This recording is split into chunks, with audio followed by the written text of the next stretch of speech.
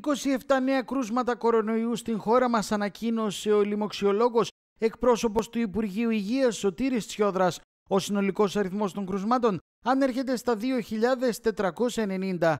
48 άτομα είναι διασωληνωμένα σε μονάδες συντατικής θεραπείας ολόκληρης της χώρας. Οι θάνατοι στη χώρα μας έχουν ανέβει στους 130. 60 άτομα έλαβαν εξιτήριο από τις ΜΕΘ. Σήμερα ανακοινώνουμε 27 νέα κρούσματα του νέου ιού στη χώρα μας. Ο συνολικός αριθμός των κρουσμάτων είναι 2.490, εκ των οποίων το 55,6% αφορά άνδρες.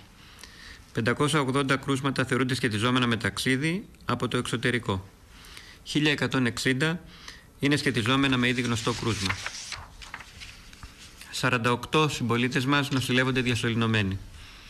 Η διάμεση ηλικία τους είναι 67 έτη. 13, δηλαδή το 26,5% είναι γυναίκες και οι υπόλοιποι άνδρες. Το 88% έχει υποκείμενο νόσημα ή είναι ηλικιωμένοι 70 ετών και άνω. 60 ασθενείς έχουν εξέλθει από τις μονάδες εντατικής θεραπείας. Τέλος, έχουμε ακόμα 5 καταγεγραμμένους θανάτους και συνολικά 130 θανάτους στη χώρα. 34, δηλαδή το 26% ήταν γυναίκες και οι υπόλοιποι άνδρες.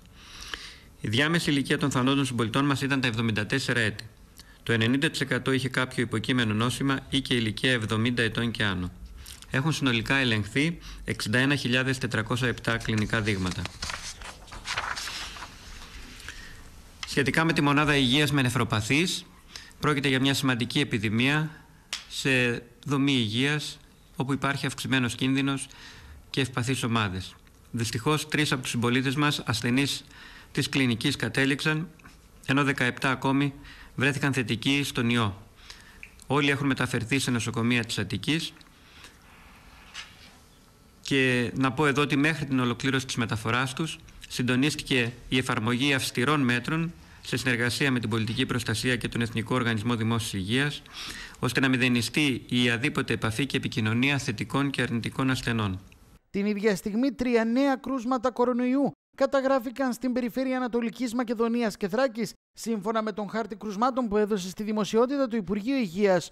Ο συνολικός αριθμός των κρουσμάτων ανέρχεται στα 76. Την ίδια στιγμή, ο Υφυπουργός Πολιτικής Προστασίας και Διαχείρισης Κρίσεων Νίκος Χαρδαλιάς τόνισε ότι τα μέτρα ισχύουν έως τις 4 Μαου. Το ίδιο ισχύει και για την Πρωτομαγιά. Ανακοίνωσε την παράταση στις άδειες ειδικού σκοπού έως τις 10 Μαου. Σημείωσε ότι όλοι οι θρησκευτικοί χώροι λατρεία παραμένουν κλειστοί, αναφερόμενος στο Ραμαζάνι. Κατά την ενημέρωση για την ιδιωτική κλινική στο Περιστέρι τόνισε ότι 121 είναι οι στενές επαφές των κρουσμάτων κορονοϊού που έχουν μπει σε καραντίνα, συμπεριλαμβανομένων και 39 συνεργαζόμενων γιατρών της κλινικής. Τα περιοριστικά μέτρα για την αποφυγή μετάδοσης του κορονοϊού ισχύουν στο ακέραιο μέχρι τις 4 Μαΐου. Το λέω αυτό και για το επόμενο Σαββατοκύριακο της Πρωτομαγιάς, και υπενθυμίζω ότι η έξοδος από το σπίτι γίνεται για τους συγκεκριμένους λόγους που ισχύουν μέχρι σήμερα και τηρώντας πάντα τα μέτρα υγιεινής αλλά κυρίως τις αποστάσεις.